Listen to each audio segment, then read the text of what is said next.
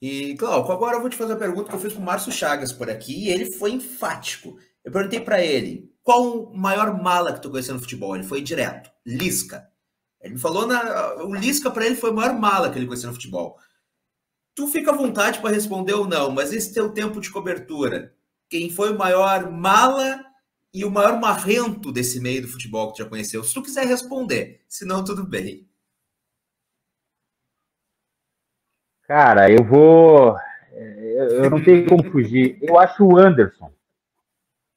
Aquele o Anderson. Que, que, o Anderson? Mala? O Anderson. Exatamente. Eu não imaginava isso. Por quê? Que, Porque é um cara, isso. assim, ó. Ele nunca abriu para possibilidades de entrevistas. Ele sempre foi um cara marrento, isso aí todo mundo sabe. Mas ser marrento até aí, por exemplo, é alguém mais marrento que o Renato? O Renato é muito marrento. Mas ele abre a possibilidade, a partir do momento que tu consegue uma certa confiança e tal. O Anderson nunca.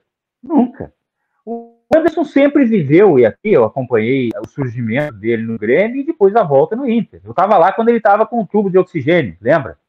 É, Sim. É, é, na, na altitude ele não tinha posicionamento, ele não tinha personalidade, ele não, não cedia a, a, possibilidade de uma conversa mais informal. Era, era o mundo do Anderson. O mundo do Anderson. Aí, mas por que mala? Mala porque não acrescentou. Não fede nem cheira.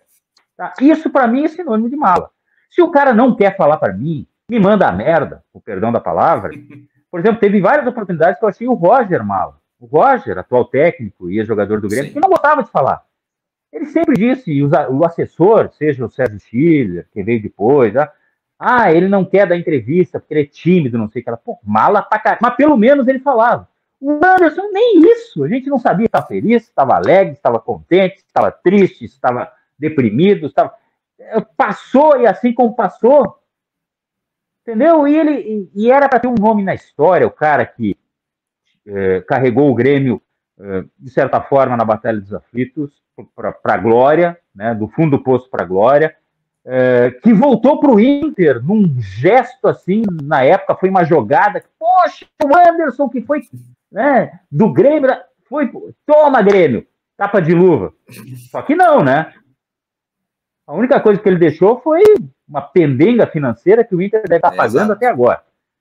Então, eu, eu, assim, ó, eu não pensei muito para dar essa resposta. Mas é alguém que volta e meia vem à minha mente, assim, poxa, cara veio da onde vai para onde, né? É daquelas figuras, daqueles personagens do futebol que não ficam nem folclóricos, nem. e vão ficar para sempre, talvez, como, ah, o cara da Batalha dos Aflitos. Mas que só isso. Eu desculpa o só isso, mas para mim